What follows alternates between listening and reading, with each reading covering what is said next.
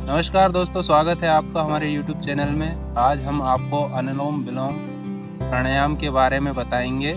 किस तरह से आपको अनुलोम विलोम प्राणायाम करना है और इसके क्या क्या फ़ायदे हैं। तो दोस्तों, आइए शुरू करते हैं हम।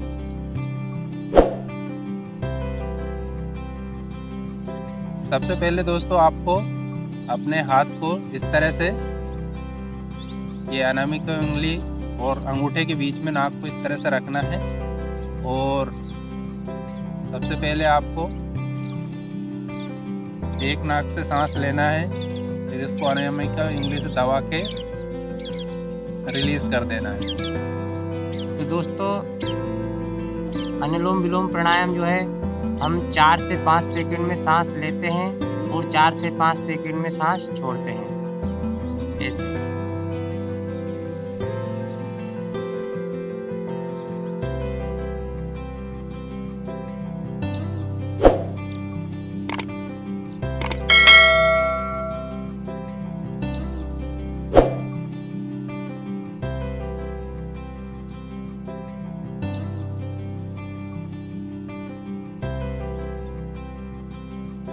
तो दोस्तों, जितना धीमी गति से करेंगे, उतना ही अधिक फ़ायदा होगा अनुलोम विलोम प्राणायाम करने से।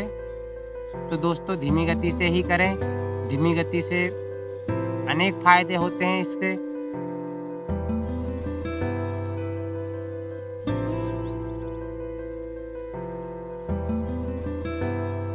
दोस्तों, अनुलोम विलोम वैसे तो एक बहुत छोटा प्राणायाम है, लेकिन इसके फ़ायदे बहुत बड़े हैं।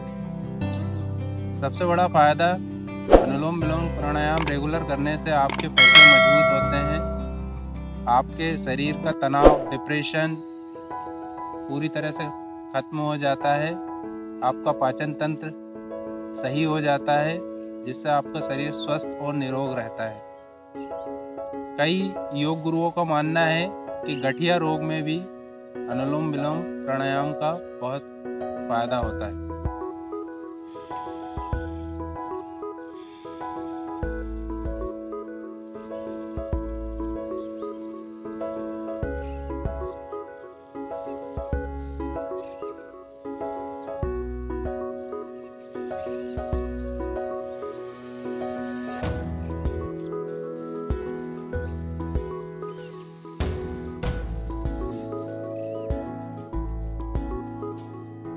दोस्तों, आपको हमारे ये वीडियो कैसा लगा, हमें कमेंट करके ज़रूर बताएँ। हमारे वीडियो देखने के लिए बहुत बहुत धन्यवाद।